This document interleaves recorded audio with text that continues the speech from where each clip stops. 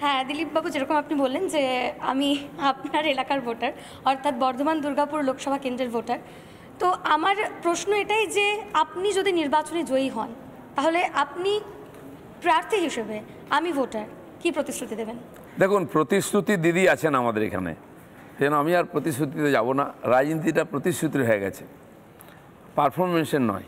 নরেন্দ্র মোদী এটা concept change করে পারফরমেন্সের রাজনীতি করেছেন। আমিও সেই দলে আছি। সেজন্য আগের থেকে আমি লিস্ট দেবো না, এই করব, তাই করব। আমি তো কিছু না বলেই মেদিনীপুরে করেছি। ছোট থেকে বড় কাজ গ্রামে গেলে জিজ্ঞেস করুন। ছোট কাজ গ্রামে গ্রামে জলের রাস্তার আলোর ব্যবস্থা করেছি। কোথাও স্কুলে স্মার্ট ক্লাসরুম কোথায় অ্যারো লাগিয়ে দিয়েছি বাচ্চাদের জলে। ওখানে গরিব এলাকার জলের সমস্যা, আলোর সমস্যা, রাস্তার সমস্যা আছে। এবং বড় কাজ বলে তিনশো চার কোটি টাকার কাঁসাইয়ের নতুন ব্রিজের জন্য গডকরিজিকে ধরে আমি সেটাও পাস করেছি। পঞ্চাশ বছরের পুরনো ব্রিজ যখন তখন ভেঙে গেলে জেলাটা আলাদা হয়ে যাবে, জেলা কেন্দ্র থেকে। সেটাও পাস করিয়েছি টেন্ডার হয়ে গেছে। তো এখানে অনেক বড় কাজ করার সুযোগ আছে। সেদিক দিয়ে মেদিনীপুরের চাইতে বর্ধমান দুর্গাপুর অনেক ডেভেলপড আর্থিক অবস্থা লোকের ভালো, সব দিকে এগিয়ে আছেন। তো সেই জন্য ওই প্রাথমিক কাজ কম করতে হবে। তাও অনেক আদিবাসী গ্রামেতে জল নেই, আলোর ব্যবস্থা নেই, সেটা করতে হবে। সঙ্গে সঙ্গে অনেক কলকারখানা বন্ধ হয়ে আছে। অলরেডি ওখানে যে সার কারখানা আছে ফার্টিলাইজার আপনারা জানেন দেশের চারটে বড় সার কারখানাকে রিভাইভ করেছে আমাদের সরকার। কারণ বিদেশ থেকে যাতে ইউরিয়া আমদানি করে আমাদের ডলার বেশি বাইরে না যায়, সেই জন্য। এবং সেটা কাজ শুরু হয়ে গেছে অলরেডি অর্জুন মেঘওয়ালজি ওখানে আছেন। তিন, চার দিন আগে ওনার সঙ্গে বসেছিলাম। উনি পিএমওতে ফোন করে দুর্গাপুরের ফার্টিলাইজার ফ্যাক্টরি যাতে রিভাইভ হয়, সমস্ত তথ্য দিয়েছেন, তার গতিবিধি শুরু হয়ে গেছে। তার সঙ্গে সঙ্গে দুটো বড় ফ্যাক্টরি ডিএসপি অনেক পুরনো, যারা ওখানকার জানেন। ডিএসপি এসপি মিলে একসময় বত্রিশ হাজার লোক চাকরি করতো। আজকে আর্ধেকও নাই। কিন্তু সেখানে রিইনভেস্টমেন্টে দশ হাজার কোটি টাকা ডিএসপিতে সরকার ইনভেস্ট হচ্ছে যাতে নতুন প্রোডাকশন হয়, নতুন মেশিন আসে, নতুন জব ক্রিয়েশন হয়। এবং ডিভিসি পাওয়ার প্রজেক্ট যেটা, পুরোনোটাকে ভেঙে ফেলা হয়েছে, নতুন আটশো মেগাওয়াটের পাওয়ার প্রজেক্ট তৈরি হচ্ছে ন হাজার কোটি টাকার বেশি ইনভেস্ট হচ্ছে। এরকম বড় কাজ যেগুলো আছে, তৃতীয় একটা বড় কাজ ডিভিসি যে ড্যাম তার জল ধারণ ক্ষমতা কমে গেছে। তার পলি পড়ে পড়ে গর্ত হয়ে গেছে। ফলেতে আমি গিয়ে দেখলাম বর্ধমানে এখন ধান কাটা শুরু হয়ে গেছে। অনেক জমি খালি ছিল। আমি জিজ্ঞেস করলাম যে কেন চাষ করেননি? বলে আগে ডিভিসি জল দিত এখন জল আসে না তাই আমাদের চাষ কমে গেছে অনেক জমি ফাঁকা পড়ে আছে। সঙ্গে সঙ্গে বর্ধমান দুর্গাপুর এলাকায় আপনারা জানেন হাজার হাজার ফ্ল্যাট বিল্ডিং তৈরি হচ্ছে বহু মানুষ বসছেন ওখানে গিয়ে। সেখানকার জন্য জলের প্রয়োজন যাতে ওটা হয় তার জন্য আমি চেষ্টা করব। ব্রিজিং করতে হবে। সমাদৃতা। আপনি দুর্গাপুর সম্পর্কে হোমওয়ার্কটা ভালো করেছেন দেখে ভালো লাগল যে দুর্গাপুরটা চেনেন। আমি ছোটবেলায় যখন দুর্গাপুরে বড় হয়েছে, দুর্গাপুর ছিল হচ্ছে ফ্লারিশিং সিটি এবং সেখানে শুধু শিল্প না, একটা এডুকেশন হাব বলেও কিন্তু দুর্গাপুরকে অনেক লোকে চেনে, এখনও চেনে। এনআইটি রয়েছে আপনি জানেনই। কিন্তু ধীরে ধীরে এখন আমার বাবা মা রয়েছেন ডাইং সিটি হয়ে যাচ্ছে দুর্গাপুর। আর দুর্গাপুর, বর্ধমান দুর্গাপুর লোকসভা কেন্দ্র কিন্তু শুধু দুর্গাপুর শহরটুকু নয়, একটা বিস্তীর্ণ জায়গা। যেখানে ওই জলকষ্টের কথা বলছেন, আমি নিজে গিয়ে দেখেছি যে বাড়িতে জল নেই কীভাবে জল পাবে জানে না।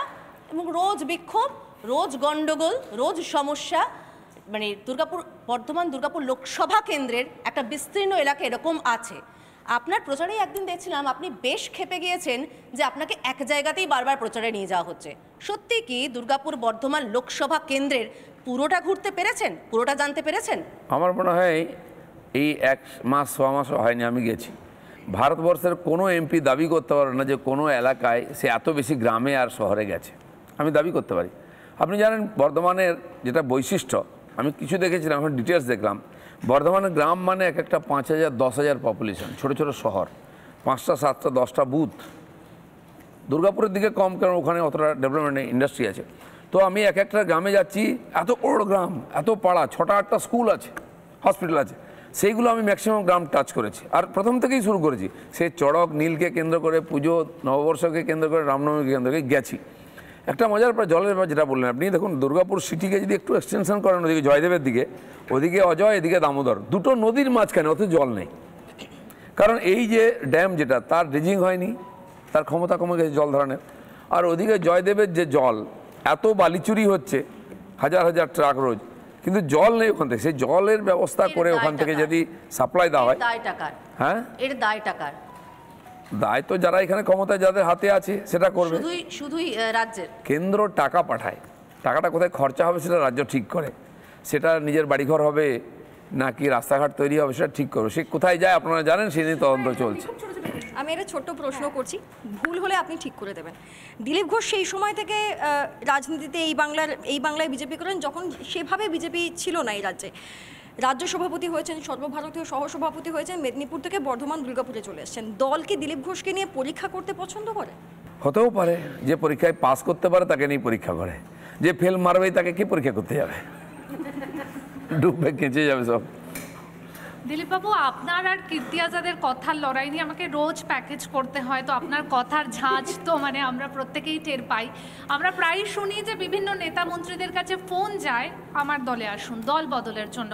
আপনার কাছে কি কখনো এরকম ফোন গেছে? আর যদিও গিয়ে থাকে তারা কি দ্বিতীয়বার আর ফোন করার আমাকে ফোন করার কেউ সাহস করে না আমি কাউকে ফোন করার প্রয়োজন মনে করি না। আর আমি আমার প্রতিপক্ষকে নিয়ে কোনোদিন আমি এটা তৃতীয়বার ইলেকশন লড়ছি। আপনারা জানেন টু জিরো করেছি থ্রি জিরো করব।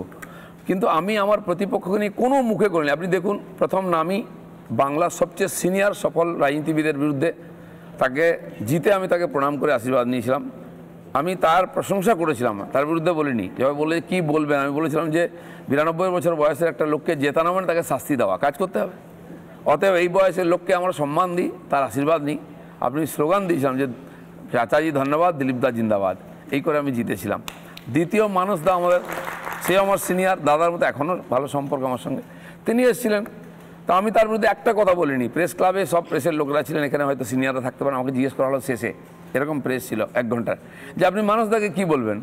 আমি একটা কথা বলেছি যে মানুষদা আমার সামনে এসে ভুল করেছেন আর সেটা প্রমাণ করেছিলাম। দিলীপ একটা ছোট্ট প্রশ্ন। আপনি অলরেডি বলেছেন তারপরেও আমি বলছি বিয়াল্লিশে কটা? কটা আশা করছেন?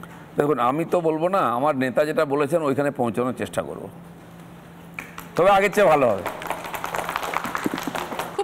সংক্ষেপে একদম অল্প সময়ের মধ্যে দিলীপ ঘোষের একদম আমি কি বলব মানে যদিও ঝোড়ো ইনিংস এবং আহ, আহ, রোজ শুনি স্লগ ছটা বলে বত্রিশ run.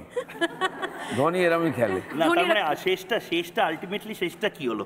Man of the match Dilip Ghosh হলো? ম্যাচ কি হারবেন? না ম্যাচও জিতবে Dilip Ghosh man of the match match চলছে। ম্যাচ শেষ হলে তখন স্কোর দিয়ে পরীক্ষা হবে যে কে ম্যান অফ দ্য ম্যাচ হয়েছে। অনেকগুলো তো শুরু হয়েছে দুটো রাউন্ড মাত্র হয়েছে। দেখুন না আপনি। আবি পিকচার বাকি হ্যাঁ বাকি আছে। বেশ পিকচার শেষ হওয়ার জন্য আমরা অপেক্ষা করি, কিন্তু আপাতত রিপাবলিকের ইন্টিগ্রেটেড নিউজ রুমে press conference Republic press press কনফারেন্সের এক্সক্লুসিভ দিলীপ ঘোষ সেগমেন্ট এখানেই শেষ করছি। দেখতে থাকুন রিপাবলিক বাংলা ধন্যবাদ।